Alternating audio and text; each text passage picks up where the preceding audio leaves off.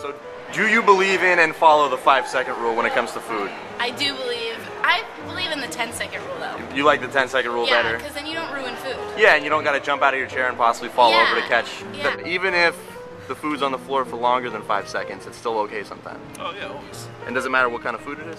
Uh, preferably not wet food. Yeah, something that things could stick to. Yeah. Like if you get uh, if you get it before five seconds, there's no bacteria and like you're cool. Oh, like I believe it's okay to eat, Right. but I believe there's still bacteria on it. There's bacteria from, on it from the moment it touches your hand. How long do you think it takes for bacteria you uh, to get on your food once you've dropped it?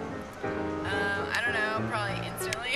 Okay, so that really just doesn't go through your head. You're not really thinking about all the things that could be getting on your food. Um, no, not really. Okay, how long would you think it takes for bacteria to get on your food once you've dropped it? 10 seconds?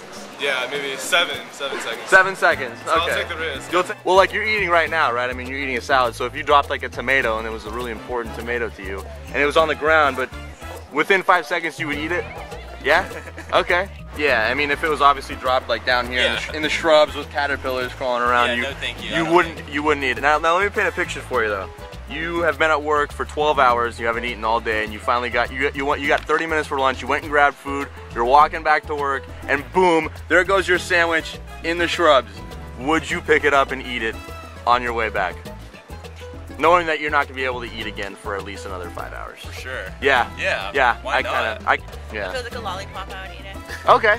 You just like you just blow the stuff off, whatever collected on it. Okay. I really don't discriminate when things fall on the ground or in the dirt. It's just all the same. Yeah, or like even in the trash if they're in like a box or a bag. So, so if something is still edible and still good food, as long as it's in a bag, you will eat it out of the trash. Yeah. Sometimes. It depends on what type of food it is. Like if I drop like an egg on the ground, you know, like, I probably eat bread on the ground, you know? Is this a cooked egg, a hard-boiled egg, or just a raw egg? egg. A cooked egg. I was gonna say, oh, it's still good. I'll still eat it.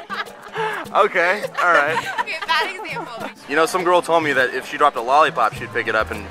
And I was like, you I know know. I feel like that's one of the worst ones you could do. Yeah, stuff sticks to it. Yeah, exactly.